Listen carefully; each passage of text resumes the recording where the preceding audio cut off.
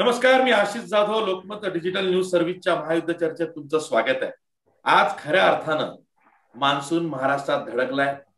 आज मुंबई ही पहिल्या पावसातच तुंबली आहे. अशा वेळी मान्सून हळूहळू आता उर्वरित राज्यात सक्रिय होणार आहे. लवकरच खरीपाच्या पेरण्या सुद्धा सुरू होतील. काही ठिकाणी त्या सुरूही झाल्या असतील पण यंदाचा जो हंगाम आहे हा सलग दुसरा हंगाम आहे. की जेव्हा करोना काळातच शेतकरी आपला खरीपाचा हंगाम काढतायत म्हणजे काय? तर एकीकडं करोनाग्रस्त शेतकरी आहे आणि दुसरीकडं नेहमीप्रमाणे सरकार उदासीन आहे. आणि त्यावरच आज आपण चर्चा करतो आहोत की करोनाग्रस्त शेतकऱ्यांना हात देण्याऐवजी सरकार त्यांना जी मदत सरकारनं दिली पाहिजे ती देण्यात नेहमीच कशी मागे राहते? आणि यावरच आज आपल्याला चर्चा करायची आहे. आपल्यासोबत मान्यवर पाहुण्यात आपल्यासोबत भाजपचे नेते आणि माजी कृषी मंत्री डॉक्टर अनिल बोंडे आहेत. त्याचबरोबर आपल्यासोबत राष्ट्रवादीचे आमदार आणि माजी मंत्री शशिकांत शिंदे आहेत. तसंच आपल्यासोबत ज्येष्ठ शेतकरी नेते किशोर तिवारी आहेत जे सध्या शिवसेनेशी संलग्न आहेत. मी या चर्चेत तुम्हा तिघांचे स्वागत करतो. आणि पहिला प्रश्न मी अनिल बोंडेंना विचारतो. तो जाणीवपूर्वक विचारतो कारण ते सध्या विरोधी बाकावरचा शेतकऱ्यांचा आवाज आहे भाजपचे ते शेतकरी नेते झालेले आहेत. अनिल बोंडे आत्ताच्या घडीला सरकारनं गेल्या वर्षी जी मदत शेतकऱ्यांना केली होती खरीपाच्या तोंडावरती आत्ता खरीपासाठी शेतकरी तितकं तत्पर दिसतोय मदत घ्यायला पण राज्य सरकारने त्याला खरंच तशी मदत देऊ केली आहे राज्य सरकार शेतकऱ्यांना यंदा चांगला हंगाम व्हावा त्यांचा म्हणून मदत करताना दिसत आहे आशिष आजच्या चर्चेमध्ये किशोर तिवारी सुद्धा आहे विदर्भातले आणि शशिकांत शिंदे आहेत. त्यांचं मी निश्चितपणे लक्ष वेधू इच्छितो की यावेळेला खरीप आता आला तोंडावर पण अजूनपर्यंत सोयाबीनच्या बियाण्याचा पत्ता नाही. रांगा लागलेल्या आहेत सोयाबीनच्या बियाण्यासाठी आणि चांगल्या प्रतीचं सोयाबीनचं बियाणं देण्याची जबाबदारी राज्य सरकारची आहे. महाबीजनं हात आखडता घेतलाय. महाबीजच्या पिशव्या मिळत नाही. आता अनेक व्यापारी अनेक स्पुरियस लोक अनेक बोगस लोक सोयाबीन भरून विकतात आहे. आणि किती किंमत? पस्तीसशे रुपयाची बॅग घ्यावी लागते पंचवीस किलोची पंचवीस तीस किलोची. आणि त्याच्यामुळं सोयाबीनचा प्रॉब्लेम आहे. मागच्या वर्षीचा खरीप विमा तुम्हाला सांगतो की एकशे अडोतीस लाख शेतकऱ्यांनी पीक विमा काढला होता मागच्या वर्षीचा. त्या एकशे अडोतीस लाख पैकी आशिष फक्त पंधरा लाख शेतकऱ्यांना विमा मिळाला. म्हणजे तोही अजून मिळाला नाही. फक्त सातशे चाळीस कोटी रुपयाचं वाटप झालं. आणि नऊशे चौऱ्याहत्तर कोटी रुपयाची विमा निश्चिती झाली. म्हणजे चार हजार दोनशे चौतीस कोटी रुपयाचा नफा या कंपन्यांच्या घशामध्ये उद्धव ठाकरे सरकारने टाकला.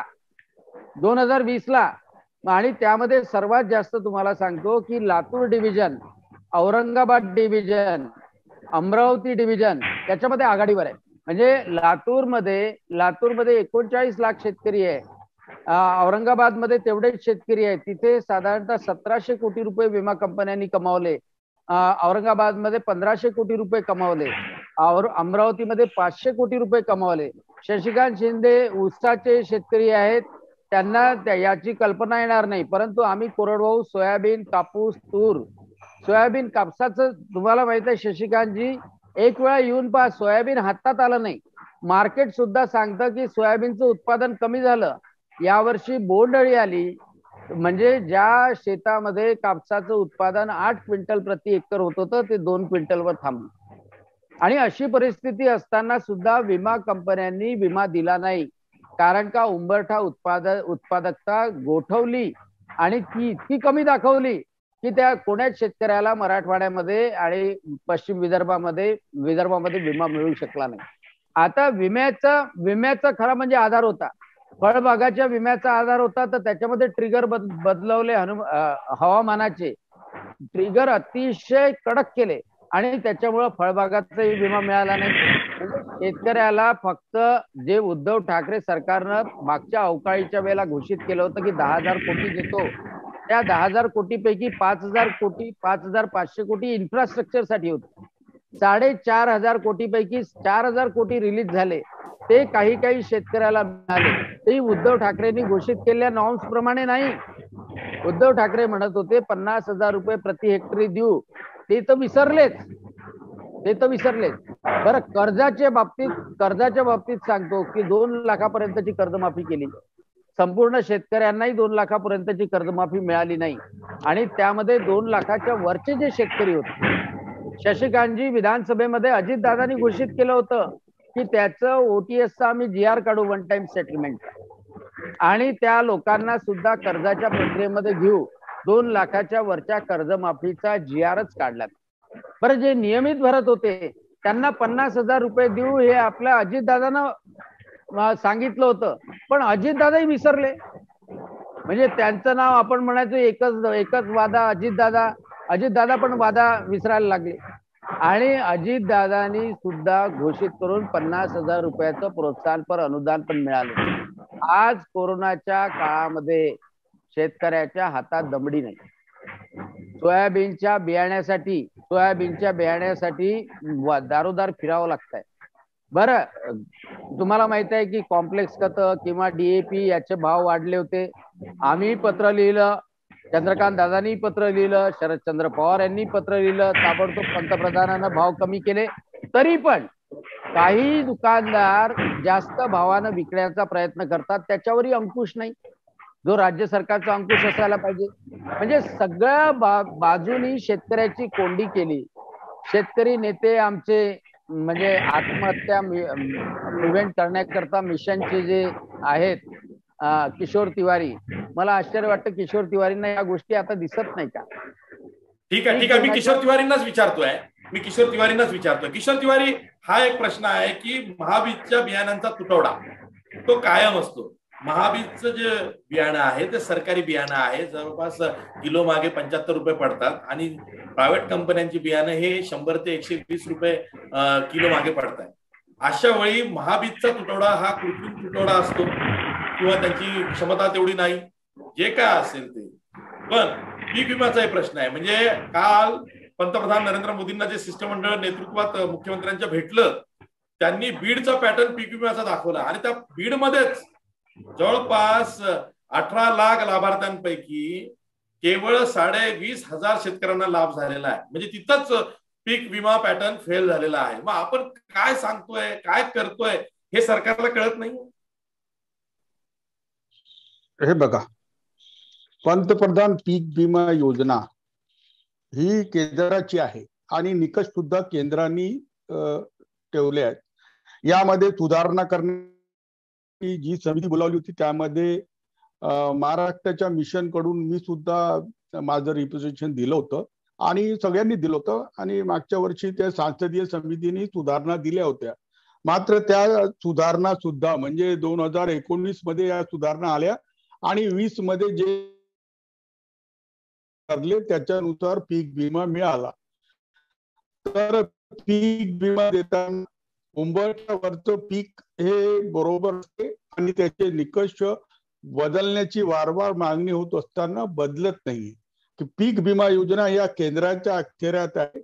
आणि अनिल बोंडे हे मात्र केंद्राची जबाबदारी राज्यावर थोपून धरायची एक चुकीची गोष्ट आहे. दुसरं मी बोलतो की या वर्षी सोयाबीनच्या बियाणाचं तुटवडा भासेल असं फार पूर्वी बोललं गेलं होतं. कारण शेतकरी जे स्वतःच बियाणं लावत होतं त्याच्यावर आमची अडवायझरी आहे की सोयाबीन ढागाळल्यामुळे ते उगवण्याची क्षमता बघूनच तुम्ही लावा. मात्र महाबीजकडे सुद्धा तीच परिस्थिती आली आहे की त्यांना जेवढे प्लॉट घेतले होते त्याच्यापैकी अर्धेच प्लॉट त्यांचे आले. तरी नॅशनल सीड कॉर्पोरेशनकडून आपण कोटा उपलब्ध करून घेत आहोत तर असं मला एकनाथ डवले यांनी कळवलं. समजून घ्या. कारण आज जसं आज हे केंद्र सरकारने सुद्धा हमी भाव पुढच्या हंगामाचे डिक्लेअर केले आहेत. त्यामध्ये त्यांनी सुद्धा प्रत्येक याला शंभर दोनशे तीनशे रुपयापर्यंत वाढ दिली आहे. ती मी चार्ट तुम्हाला सुद्धा पाठवला आहे. ती बघून घ्याल. तर आता त्या पद्धतीनं मला मला मला किशोर तिवारी किशोर तिवारी मी तुम्हाला थांबवतो. तुमचा मुद्दा खूप महत्त्वाचा आहे. कारण शेतकऱ्यांना या चार्टची सुद्धा माहिती मिळाली पाहिजे.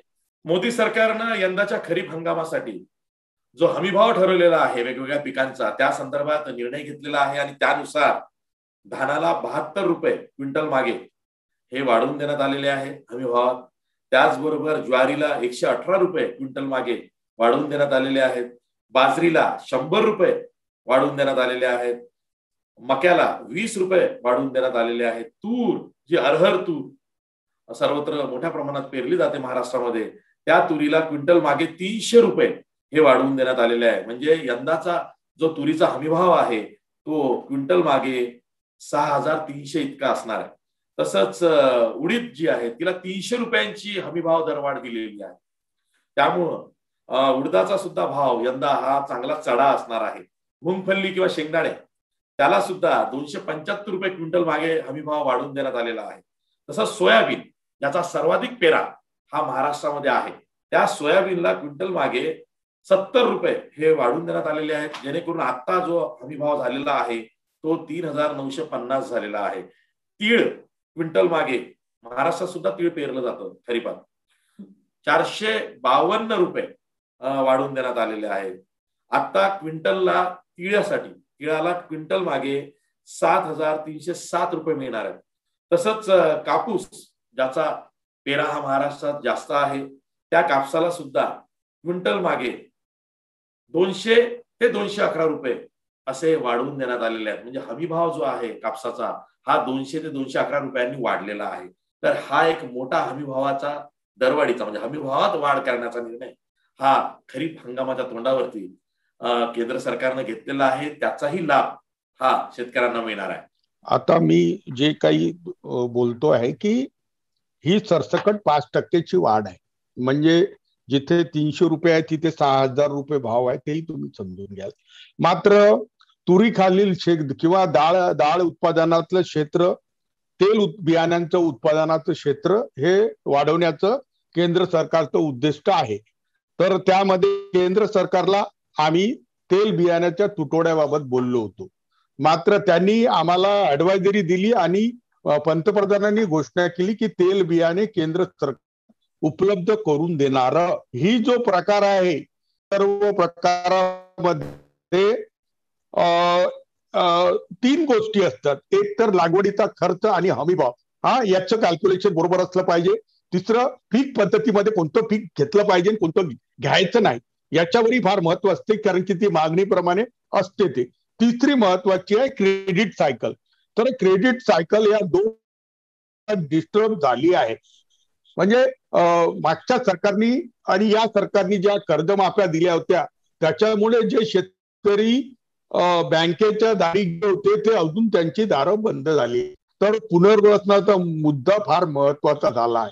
दुसरं जसं अनिल बोंडे म्हणाले की प्रोत्साहन भत्ता देण्यात आला नाही तर केंद्रांनी प्रोत्साहन भत्ताही दिला नाही राज्यांनी प्रोत्साहन भत्ता दिला नाही. भूल आहे. कारण इथं पगाराचेच वादे आहेत हेही अनिल बोंडेला चांगल्या रीतीने माहीत आहे. मागच्या दोन वर्षात सर्वात जास्त फटका जर बसला असेल तर महाराष्ट्र सरकारला बसला आहे. त्याच्यामध्येच सगळ्यात त्याच्यामुळेच नुकसान भरपाई दिली झाली एक. त्याच्यामुळेच कर्ज माफी जे पैसे टाकणं सुरू होतं त्या याद्या रोडल्या रोडावल्या हेही नक्की आहे. आणि मी सरकारकडे पाठपुरावा सुद्धा केला मात्र मला काहीही अडचण नाही. अनिल बोंडे जे बोलत आहे की मागील दोन वर्षात कोरडवाहू शेतकऱ्यांचं संकट वाढलं आहे. तर पीक कर्ज अर्थात पीक विम्यापासून वंचित असणाऱ्या शेतकऱ्यांसाठी त्यांनी आमच्यासोबत लढावं. म्हणजे केंद्राची लढाई ही त्यांना कळून चुकेल. सगळ्यात मोठा नफा कमवणारी कंपनी ही जापान कोयाटो कंपनी आहे ही त्यांनाही माहीत आहे. दुसरी रिलायन्स आहे ती मोदीजींच्या जवळ आहे हे त्यांना माहीत आहे. आणि शेवटी जेव्हा अनिल बोंडेच कृषी मंत्री होते त्या त्यावेळेस आपण कृषी कापणीचे चार चार पाच पाच प्लॉट टाकले. आणि चार चार प्लॉट प्लॉटपट टाकून आणि त्यांनी जेव्हा त्यांनीच सांगितलं त्या अनिल बोंडेंनीच फॉलो घेऊन ते क्रॉप कटिंग एक्सपेरिमेंट आणि उंबट्या खालचं पीक ठरवण्याची पद्धत दिली होती. त्या पद्धतीने झालेला आहे.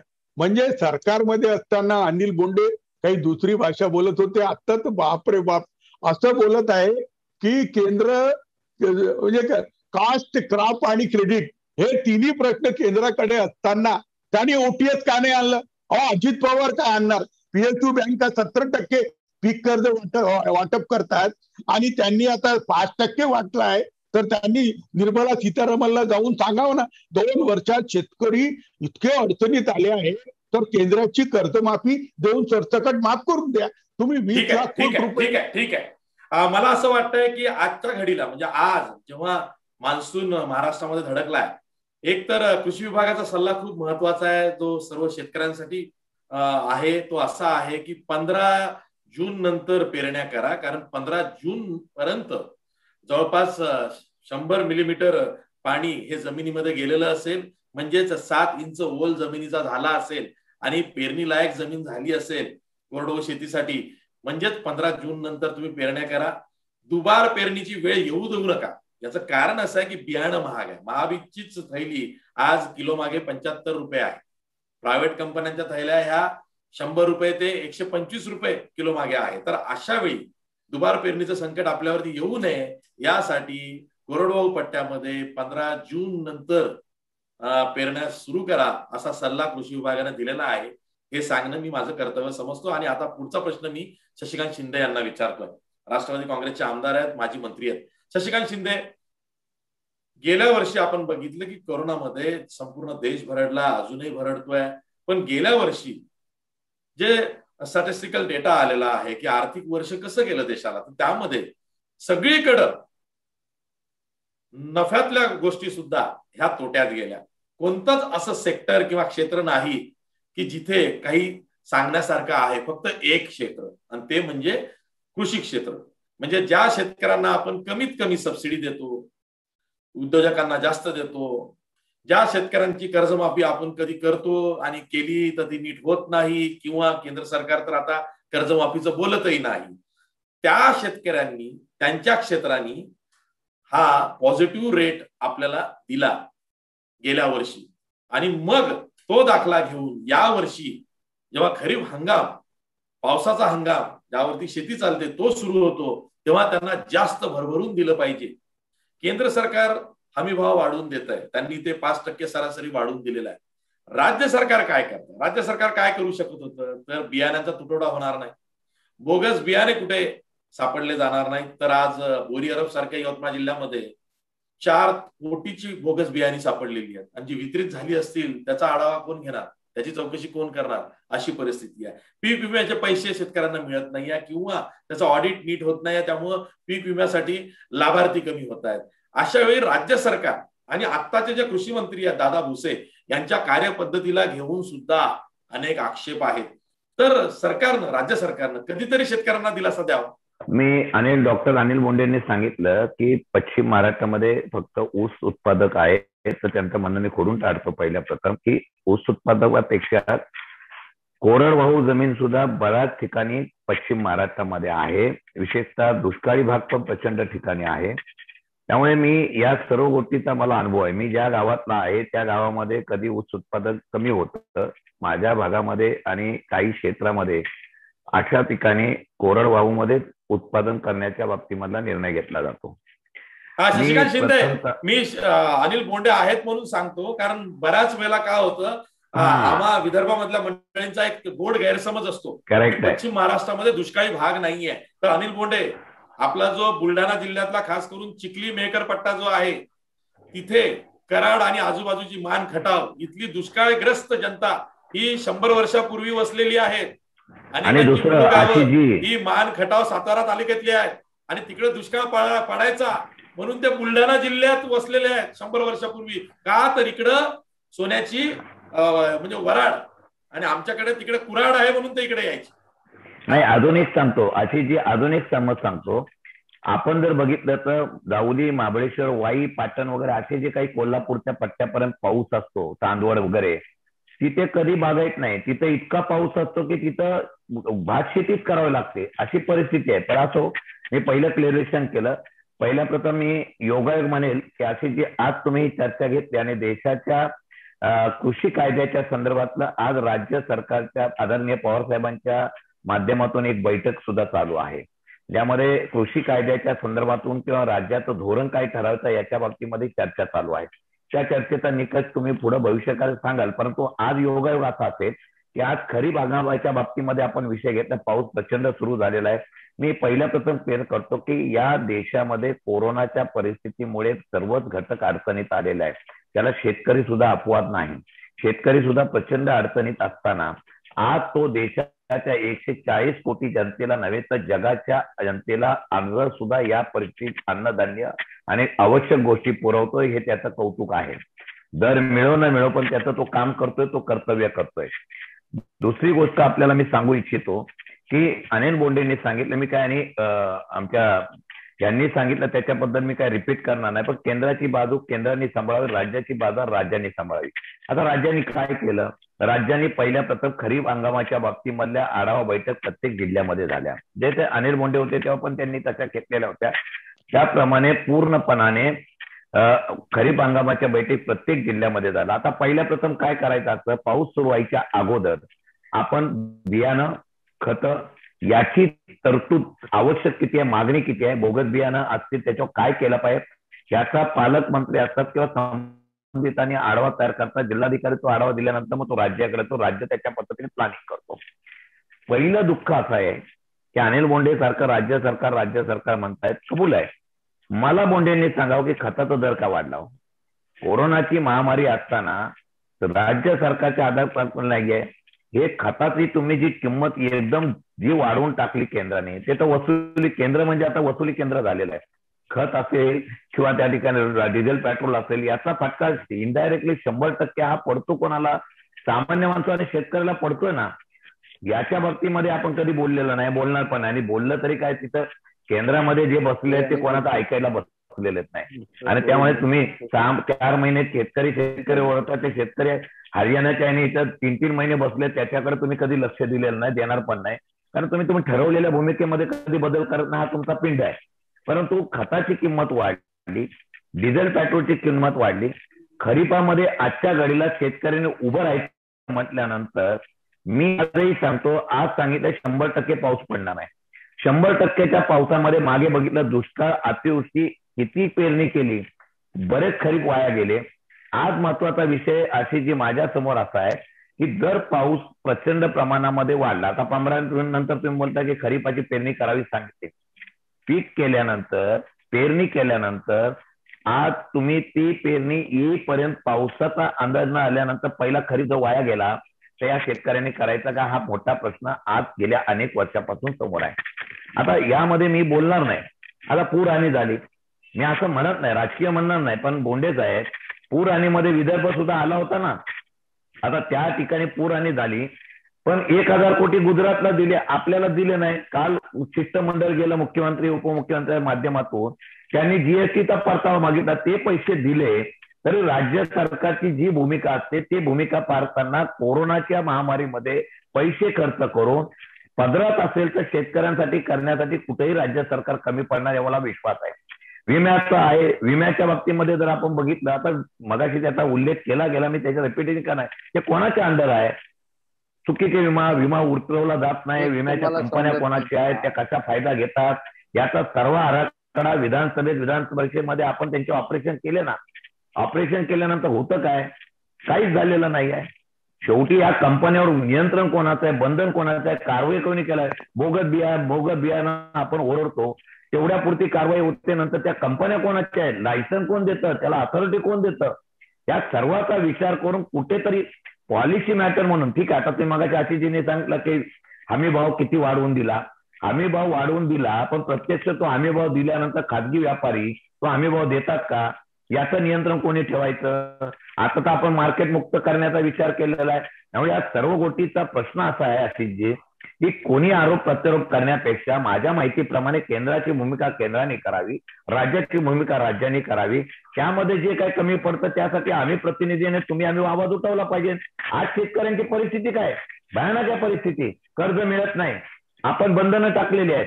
कर्ज घ्यायचं म्हटलं तर बँक त्यांना आम्ही म्हणतो आणि नॅशनल बँकेचं मी तुम्हाला सांगतो इव्हन जिल्हा बँका तरी कर्ज देतात. नॅशनल बँका तर तुम्हाला दिलेल्या टार्गेटमध्ये दहा टक्के सुद्धा कर्ज या शेतकऱ्यांना देत नाही.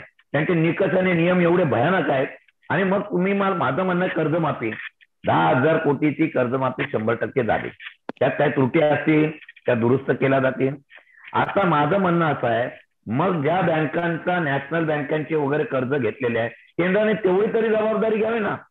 त्यांची भूमिका अशी जी स्पष्ट शब्दात आहे शेतकऱ्यांना पूर्ण कर्जमाफी किंवा असला काय सवय लावायची नाही असं देशाच्या पंतप्रधानांना वाटतं. ते म्हणतात की ते डेव्हलप करण्यासाठी जे काय पाहिजे त्याला पैसे आम्ही देऊ.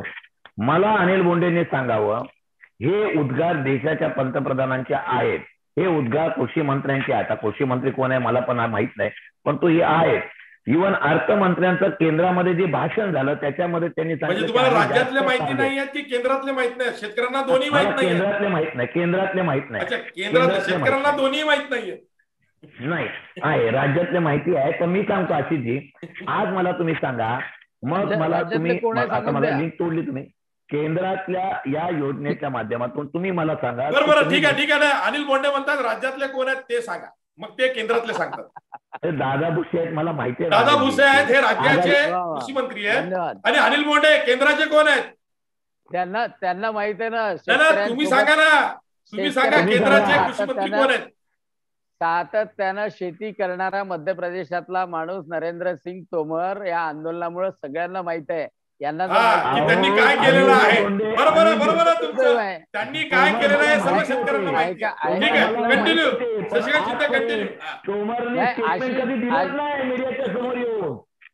शेतकऱ्यांना माहिती आहे. तोमर साहेबांनी काय बोलू द्या ना. ठीक आहे ठीक आहे. तोमर साहेबांनी काय केलंय? समस्त शेतकऱ्यांना माहिती सांगतो सांगतो ना. हा. आशिष सगळ्यात नाही नाही अनिल बोंडे अनिल बोंडे बोलतो ना. विषय असा आहे विषय असा आहे की ऐका ना अनिल बोंडे ऐका. भाजपचं आश्वासन आहे शेतकऱ्यांना. दोन हजार बावीस पर्यंत तुमचं उत्पन्न आम्ही दुप्पट करू आता एकच वर्ष उरलंय. माझं मला आशिषजी एक एक मिनिट अनिल बोंडे बोलतील त्याच्या अगोदर मला क्लिअरिफिकेशन अनिल बोंडे करून पाहिजे माझं लिंक तोडली तुम्ही. मी सांगितलं की देशाच्या पंतप्रधानांनी देशाच्या अर्थमंत्र्यांनी केंद्रीय बजेटमध्ये सांगताना कृषी कायदा आणि शेतकरी हे लक्ष ठेवून बजेट बोलले. त्यांनी सांगितलं की आम्ही कर्जमाफी करणार नाही पण शेतकऱ्याला स्वावलंबी बनवू. एक योजना अशी दाखवा. एक योजना की त्या योजनेमधून शेतकऱ्याला विश्वास वाटला की या बजेटमधून आपल्याला वेगवेगळ्या प्रकारचे योजना जाहीर झाल्या. किती शेतकऱ्यांनी त्याचा लाभ घेतला किती लोकांनी कुक्कुटपालन केलं किती लोकांनी त्या जोडधंदे सुरू केले त्याला केंद्राने काय प्रपोजल केलं कोणत्या कंपन्यांनी त्यांना सांगितलं बाकीच्या वेळेला जसं अदानी अंबानी उतरतात तसं या क्षेत्रामध्ये या शेतकऱ्यांना सपोर्ट करण्यासाठी त्यांना किती उतरवलं मला कुठेही रिझल्ट दिसलेला नाही. म्हणून मी माझं स्पष्ट मत मानतो आता डॉक्टरनी सांगावं त्या पद्धतीने ठीक आहे. अनिल बोंडे केंद्र शेतकऱ्यांसाठी काय करताय? सांगा. आशिषजी एक महत्वाची गोष्ट म्हणजे यांची ही सवय केव्हा जाईल की सगळ्या गोष्टीसाठी केंद्राकडे बोट दाखवायचं. तुम्ही जीएसटी द्या आम्ही सगळं देतो. जीएसटीचा परतावा द्या सगळं देऊन टाकतो. पूर्ण ऐका केंद्रा केंद्राने या किशोर तिवारी किशोर तिवारींनी शेतकरी नेते म्हणवतात किशोर तिवारीच्या बद्दल मला वाईट हे वाटतंय. की वकिली शेतकऱ्याची करायची तर ते राज्य सरकारची करतात. आता पहा मी कृषी मंत्री होतो. त्या कृषी मंत्री असताना तुम्हाला माहीत आहे की केंद्राचा हिस्सा विम्यामध्ये असतो राज्याचा हिस्सा विम्यामध्ये असतो. परंतु जे ट्रिगर आणि टेंडर काढायचे असतात शशिकांतजी शिंदे आणि किशोर तिवारी ही राज्य सरकारची जबाबदारी आहे. ट्रिगर जे आहे फळबागाचे ट्रिगर बदलवले. म्हणजे मी कृषी मंत्री झाल्यानंतर दादा भुसे आल्यानंतर किशोर तिवारीजी तुमच्याशी सुद्धा बोललो की फळबागाचे ट्रिगर बदलवले. उत्पादकता उत्पा उंबरठा उत्पादकता तीन वर्षासाठी गोठवली. आणि तुम्ही जे बीड पॅटर्न बीड पॅटर्न म्हणता बीड पॅटर्नमध्ये काय शेतकऱ्याला मिळणार आहे का? जो नफा मिळेल त्याच्यापैकी ऐंशी टक्के हिस्सा राज्य सरकार स्वतः ठेवून घेईल. म्हणजे शेतकऱ्याला नाही मिळणार आहे. आता बीड पॅटर्न नेण्यापेक्षा जर उद्धवजी ठाकरेंनी नव्वद टक्के जोखीम स्तर नेला असता तिथे तिथे जर का तिथे जर का या उंबरठा उत्पादक काढण्याचे सजेशन नेले असते. पण यांनी काय म्हटलं? की आम्हाला बीड पॅटर्न पाहिजे. म्हणजे राज्य सरकारला शेतकऱ्याच्या भरोशावर ऐंशी टक्के नफा आपल्याकडे पाहिजे. ही ही मागणी ही मागणी तुम्हाला पटते का किशोर तिवारीची? दुसरी महत्वाची गोष्ट सोयाबीनच्या संदर्भात जर आपल्याला माहीत आहे की महाबीजला अगोदरपासून माहीत होतं की आपल्याला बियाणे पुरवायचे मागच्या वर्षीचे बोगस बियाणे निघाले. चिखली बुलढाणा मेहकर देऊळगाव राजा किंवा बुलढाणा आणि अकोल्याच्या परिसरामध्ये अनेक फार्मर प्रोड्युसर ऑर्गनायझेशन बियाण्याचे प्लॉट टाकत होते. तुम्ही तपासून घ्या किशोर तिवारीजी महाबीजनी मागच्या वर्षी फार्मर प्रोड्युसर ऑर्गनायझेशनला बियाण्याचे प्लॉट टाकण्याकरता परवानगी दिली नाही. आपण कृषी विद्यापीठाकडून बियाणे निर्माण करण्याकरता टार्गेट देत होतो. महाबीजला मागच्या वर्षी दंड पडला त्यामुळं महाबीजनी त्याच्यामधून विड्रॉ केलं. शेवटी मेला त्याच्यामध्ये शेतकरी. आता ते काय केंद्र सरकारकडे त्या बियाण्यासाठी सुद्धा बोट दाखवणार. खताच्या संदर्भात जेव्हा वाढ झाली तेव्हा खताच्या संदर्भात सदानंद गौडा यांनी अगोदरच दहा दहा एप्रिलला सांगितलं होतं की शेतकऱ्यावर येणार नाही. आम्ही सबसिडी देऊ. पत्र मी लिहिलं चंद्रकांत दादानी लिहिलं शरदचंद्र पवारांनी लिहिलं. सेन्सिबिलिटी ही पाहिजे की पंतप्रधानांनी तीन दिवसाच्या आत बैठक घेऊन पूर्ण बाराशे रुपयाची जी वाढ होती ती तेवढी सबसिडी दिली आणि आज शेतकऱ्याला त्याच दरामध्ये खत मिळत आहे जे अगोदर दोन हजार एकोणीस होत. आता दो खरीप दोन हजार वीसमध्ये पंधरा लाख शेतकऱ्यांना सात नऊशे त्रेचाळीस कोटी मिळाले. मी कृषी मंत्री असताना जे पाच पाच ठिकाणी आपण कापणीचे प्रयोग केले त्यामध्ये तुम्हाला सांगतो की एकशे अठ्ठावीस लाख शेतकऱ्यांनी विमा भरला होता. पंच्याऐंशी लाख शेतकऱ्यांना पाच हजार सातशे चौपन्न कोटी रुपयाचा विमा परतावा मिळाला होता. कंपन्यांना एक हजार कोटी रुपयाचं नुकसान आलं होतं. कमीत कमी किशोर तिवारीजी प्रामाणिकपणे सांगतो. म्हणजे तुम्ही विदर्भातल्या कमीत कमी वकिली अशी करू नका की ज्याच्यामुळं शेतकऱ्याच्या गळ्याला तात लागेल.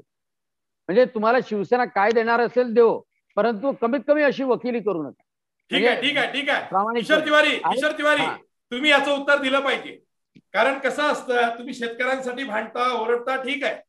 पण आता तुमच्या मागे शिवसेना लागलेली आहे. तुम्ही शिवसेनेशी जोडले गेलेला आहात. तुम्ही मुख्यमंत्री उद्धव ठाकरेंचे कृषी विषयक सल्लागार आहात असं खासगी चर्चा होते. आता तुम्ही उत्तर द्या. नाही असं असते की डॉक्टर बोंडे यांचे अनेक मुद्दे जे आहेत ते शाश्वत आहेत की शेतीबद्दल उदासीनता आहे याच्याबद्दल काही हे नाही. आता अनिल बोंडे असताना कृषी सचिव आमचे अनिल डवले आपले एकनाथ डवलेच होते. आत्ताही तेच कृषी सचिव आहेत.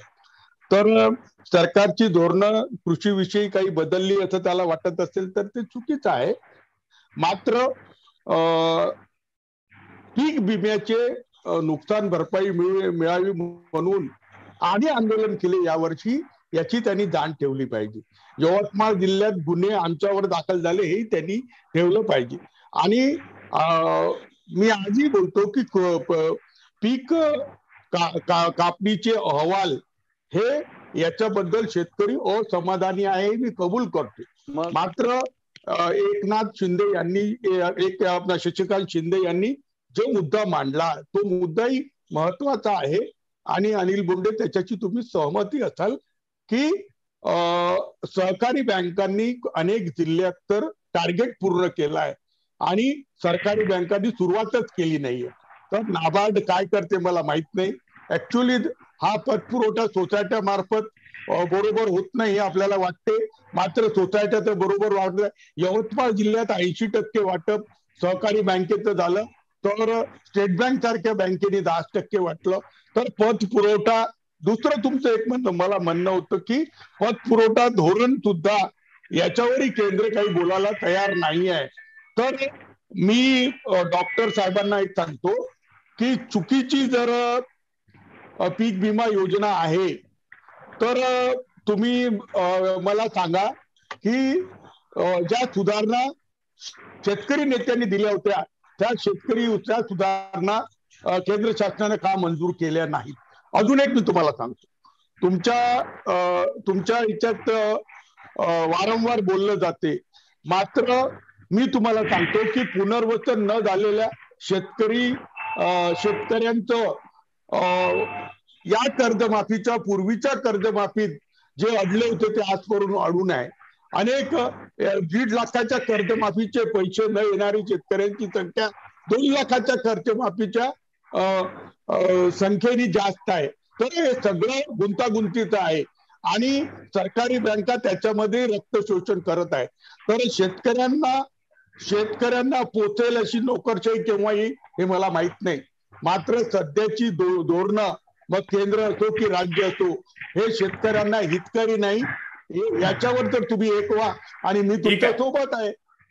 अनिल बोंडे उत्तर द्या. अनिल बोंडे उत्तर द्या. हो सरकार कोणतंही असू दे.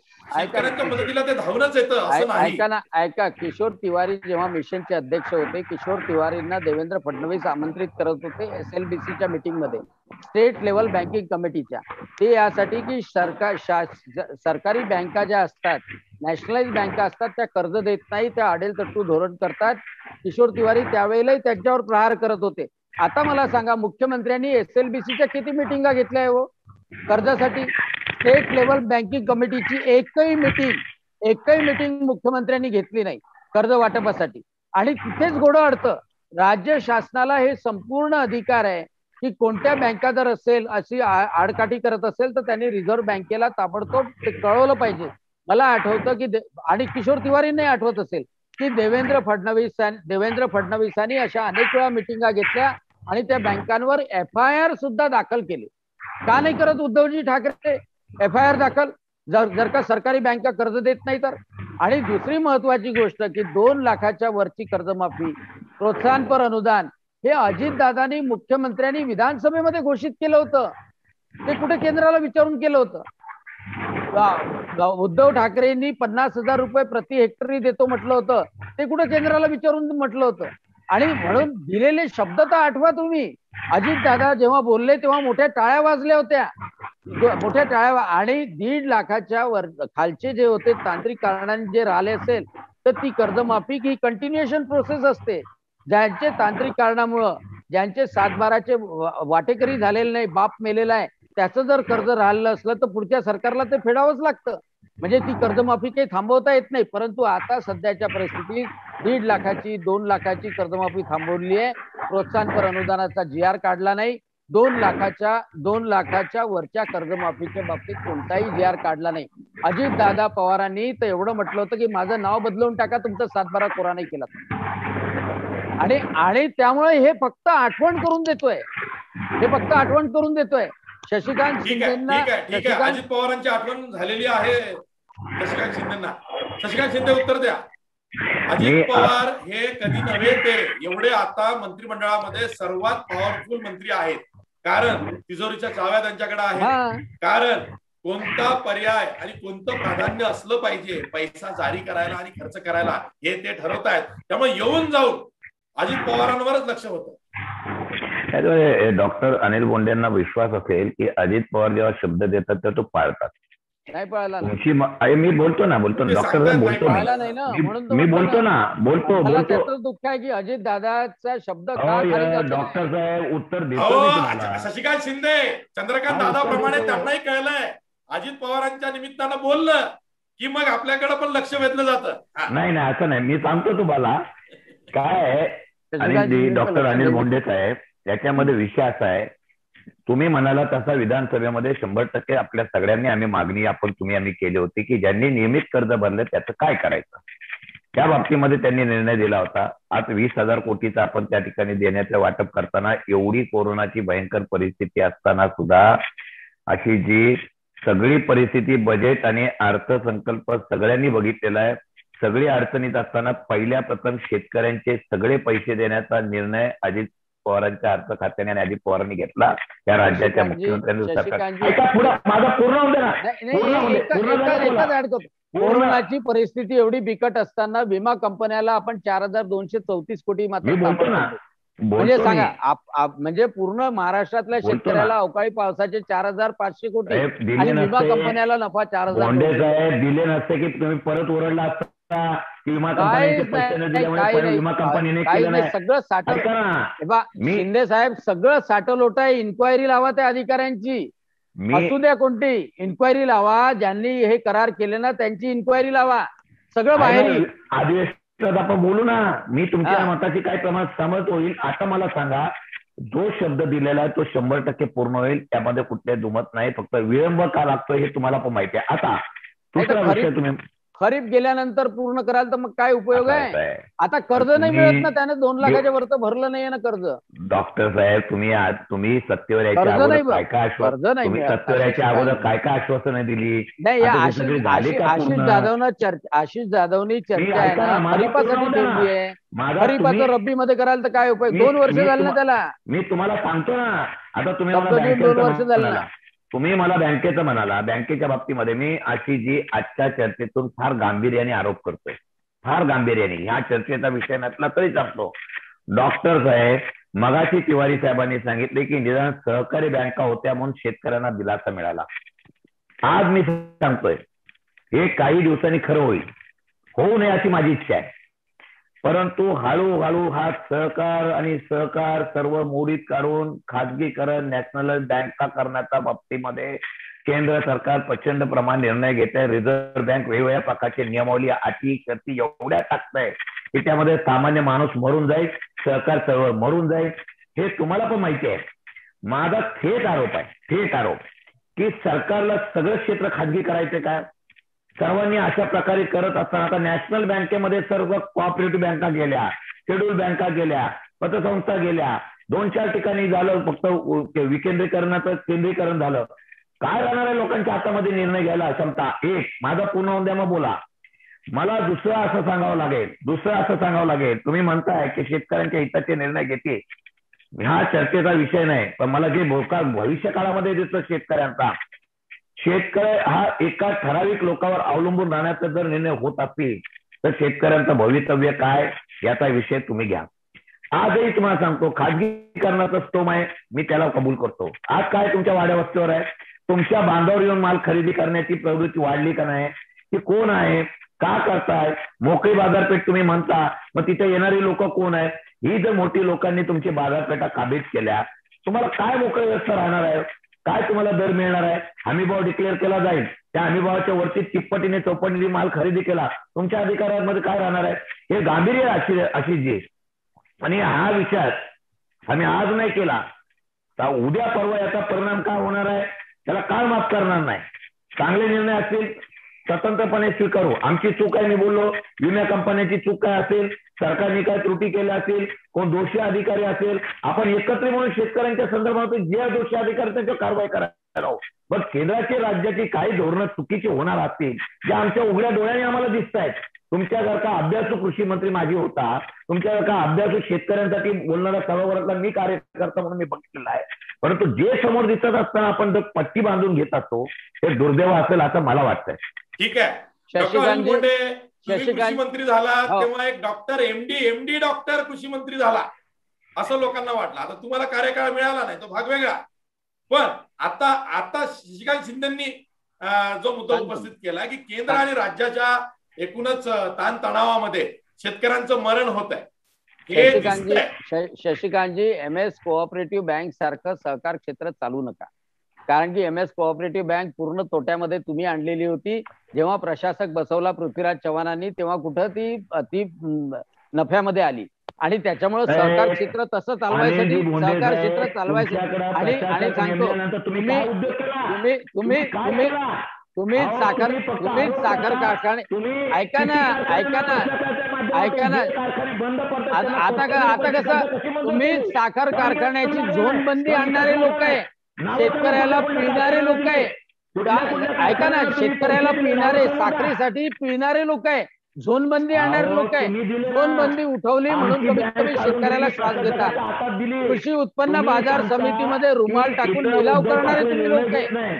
लिलाव करणारे आणि आणि. आज आज आज कांदा. नाफेड खरेदी करते केंद्राच्या योजनेतून तर सगळ्या राष्ट्रवादीचीच संघटना करते रोहित पवारची का महाराज्य नावाची कांदा खरेदी करते आ- आ- लक्षात आलं फार्मर प्रोड्युसर ऑर्गनायझेशनच्या माध्यमातून रोहित पवारचीच संघटना खरेदी करते महाराज्य नावाची आणि त्याच्यामुळं- आणि आणि. त्याच्यामुळे शशिकांतजी शशिकांतजी एक गोष्ट लक्षात ठेवा? प्रामाणिकपणे तुम्ही काम जे केलं. सरकाराचं फक्त तिजोरी भरण्यासाठी महाराष्ट्र स्टेट कोऑपरेटिव्हमध्ये जोपर्यंत प्रशासक गोयल आले नाही तोपर्यंत. तो तुमची बँक तोट्यामध्येच गेलेली होती. तोट्यामध्ये गेली होती. तोटा पूर्ण पूर्ण भरून काढला गोयल प्रशासक झाल्यानंतर. एवढं लक्षात ठेवा. नाही नाही नाही. मी बोलतो आणि नफ्यात आल्यानंतर. सदस्यांना किती. डिव्हिडंड दिला? काही प्रश्न आहे ना.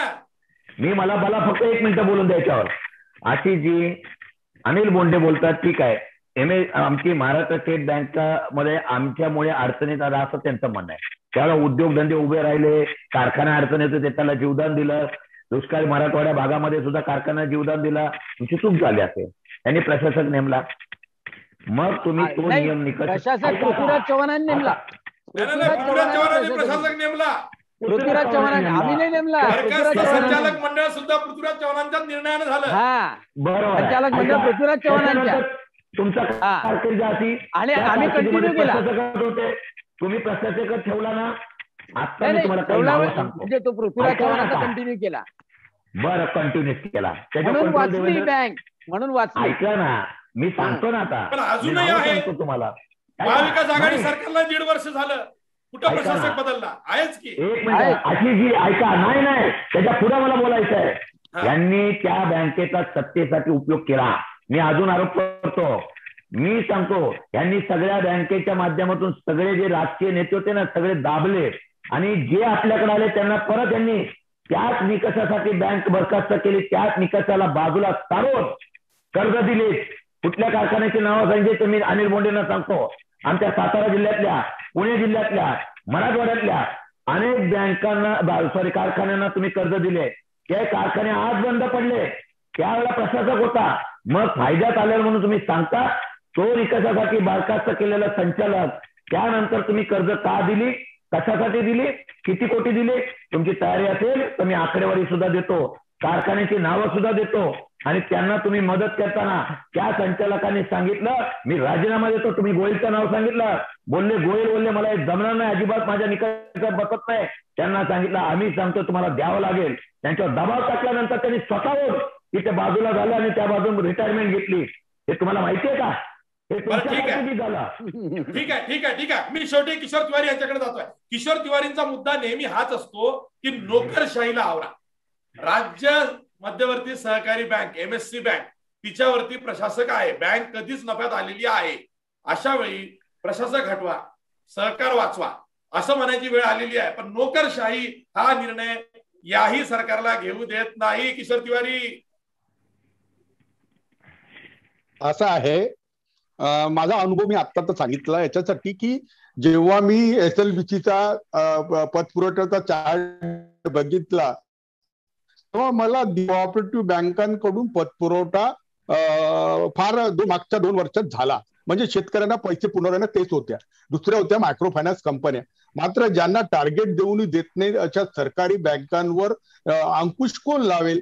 तर काही मुद्दे असे आहेत की जे राज्य सरकारवरही मला किंवा शशिकांतला अनिल बोंडे यांना सोबत राहून ना दबाव टाका लागेल. कारण मला बरोबर आहे की केंद्राच्या सुधार समितीमध्ये राज्याचेच अधिकारी होते. हे ओळखतात त्या अधिकाऱ्यांना. जसं देशमुख होता हे होतं. आणि त्यांनी सुधारणा दिल्या पीक विमा योजनेमध्ये. आणि पीक विमा योजनेचे निकष शेतकऱ्याच्या विरुद्ध जाताना आज आपण पाहत आहोत. म्हणजे शिवसेनेच्या खासदार भावराताई गवळी यांनी आंदोलन केलं. सगळ्यांनी आम्ही आंदोलन केले. आज सुद्धा जो परतावा शेतकऱ्यांना परत मिळाला आहे त्यामध्ये अनिल बोंडेचं मला पूर्ण निवेदन आलेलं आहे. त्या निवेदनावर मी चौकशी समिती नियुक्त करायला सांगितली सुद्धा आहे की सहकार विभागाचे अधिकारी करणार नाहीत बाहेरचे अधिकारी करतील. कारण. कृषी कृषी मधले काही अधिकारी याच्यामध्ये शेतकऱ्यांना लुबाडण्यात सक्रिय होते असं दिसत आहे. कारण ज्या ठिकाणी जास्त पीक झालं त्या ठिकाणी नापिकी आहे. ज्या ठिकाणी नापिकी आहे त्या ठिकाणी जास्त पीक दाखवलंय आणि लोक वैतागून गेले आहेत ते पाहू. तर अनिल बोंडे तुमच्या भावना मला समजले. तुम्ही इतक्या पोटतिळकीने बोललात त्याच्याबद्दलही मी तुमचा आभारी आहे. मात्र अं, तुम्ही तुम्ही फार उशिरा आलात. मी एकोणीसशे नव्वदपासून या चळवळीत आहे. तर आम्ही प्रामाणिक शेतकऱ्याशी राहू. सत्तेशी राहणार नाही. मला शिवसेनेने काही दिले देण्याचं प्रॉमिस केलेलं नाही आहे आणि भाजपने सुद्धा काही दिलं नव्हतं. तर मी माझी सोय लावासाठी नाही आहे. माझ्याकडून जे काही चांगलं होईल ते मी करेल नाही झालं तर तुमच्यासोबत येईल मला काय घेणं देणं नाही. ठीक आहे ठीक तुम्ही. शेतकऱ्यासाठी प्रामाणिकपणे- चांगलं आहे बरं का. अनिल बोंडे तुमचं जरी हो. देवेंद्र फडणवीसांशी चांगलं असलं तरी किशोर तिवारींचं नितीन गडकरींशी फार चांगलं आहे. त्यामुळे ते वाड्यावर कधी जाऊ शकतात. असं समजू नका तुम्ही. ठीक आहे. मी इथंच थांबतोय. याचं कारण असं आहे की शेतकऱ्यांसाठी चांगली खबरबात ही आहे की मान्सून आता सक्रिय होतं. तरी सुद्धा कृषी विभागाने जो सल्ला दिलेला आहे की पंधरा जून पर्यंत जमिनीचा ओलावा हा सात इंच पर्यंत होईल म्हणजे शंभर मिलीमीटर पर्यंत होईल. त्यानंतर तुम्ही पेरणी करा. कारण दुबार पेरणी ही कुणालाच परवडत नाही. बियाणांचे भाव खूप जास्त आहेत. तेव्हा आपण या कार्यक्रमाच्या माध्यमातून शेतकऱ्यांना योग्य ती माहिती देण्याचा त्याचबरोबर शेतीच्या अनुषंगानं किंवा शेतीचं जे अर्थपुरवठा आहे पतपुरवठा आहे त्या अनुषंगानं काय राजकारण चालतं ते सुद्धा समजून घेण्याचा प्रयत्न केला. इथेच थांबतोय. पाहत राहा. लोकमत डिजिटल न्यूज सर्व्हिसचं महायुद्ध